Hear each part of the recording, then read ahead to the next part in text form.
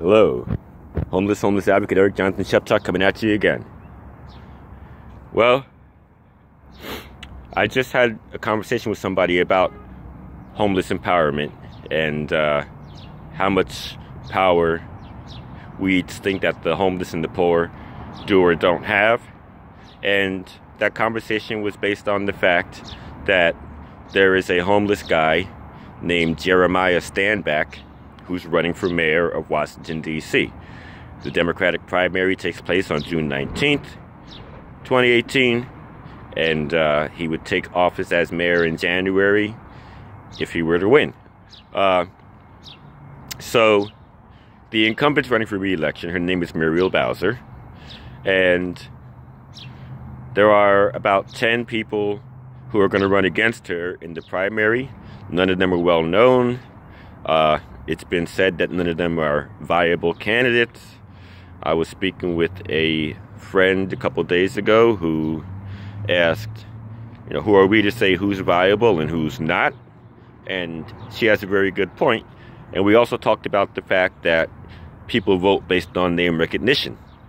And since they don't recognize the names of the approximately 10 other Democratic candidates, they're likely to vote for the incumbent.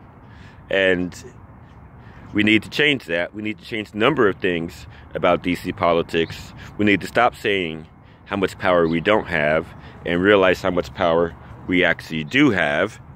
And uh, so I would posit here that Muriel Bowser won the Democratic primary in, in April of 2014 with 42,000 votes out of a possible 380,000 Democratic votes that year. That's 11%, one ninth. Um, and in DC, we have we had that year 145,000 people on food stamps, which represented about 22% of the city's population. So more than three times as many people are on food stamps as what voted for Muriel Bowser. Now, that to me comes off as power. If we could just get all the poor folk, all those who are poor enough to need food stamps, to go out and, and vote for Jeremiah Stanback, then we could knock Muriel Bowser out of the box. She'd be so embarrassed if she got beaten out by a homeless guy, she'd probably leave town. Um, and I've got no complaints if she does that. But um, people need to realize this. They also need to realize that there's a very simple thing that we can all do to help this guy win. You see, as I spoke with this friend, we talked about the fact that people vote based on name recognition. And sometime later, I, I thought to myself, well, we have all these signs around town being put on light poles with nothing more than the name of the person running and the position they're running for. Uh, you know, signs that say James Butler for mayor. You know, no one knows anything about James Butler. They might go online and find out some things about him, but that's all these signs say. Now, we don't need signs that are made professionally. We can just grab some poster board and some marker and some staples, and, and you make two signs, and then you put them back to back around the light pole, and you staple them together and and uh, if people all over DC would make these sorts of signs and put them up in in their respective neighborhoods on the light poles, then after a while, a lot of folk would know the name Jeremiah Standback. Stanback, S T A N B A C K, Stanback minus the D. And, and we could make Muriel Bowser stand back. So I want people to start doing that and let's let's get this guy's name out there. And even if you don't think that he would make a great mayor, we know that the current mayor doesn't make a great mayor, and that the current mayor gave us gentrification on steroids. That she hasn't done enough to create affordable housing or to decrease homelessness.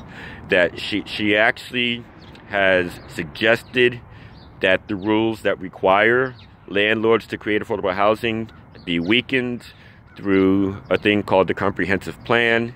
Uh, and so she's actually working against people in our camp who want affordable housing, affordable nutritious food, and so forth and so on.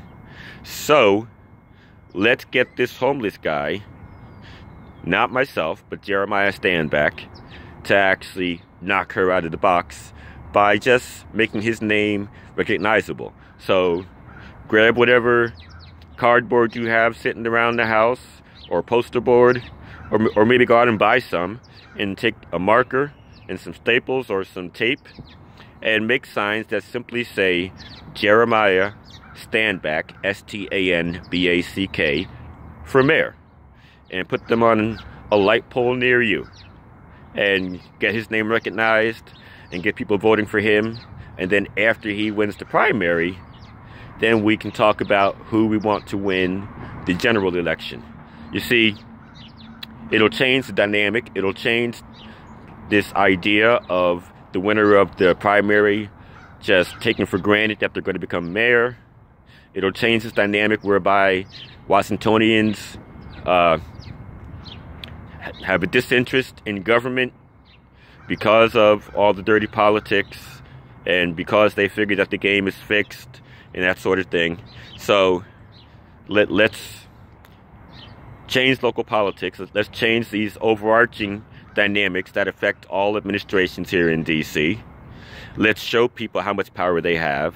And despite what Jeremiah Stanback can or can't do, will or won't do if he were to become mayor, just the fact that a homeless guy won the primary will send such a strong message that it will serve to further empower the poor of the city, not just those who are literal, literally homeless, but even those who are on the brink of becoming homeless, even those who are pay, paying more than half of their income in rent and struggling.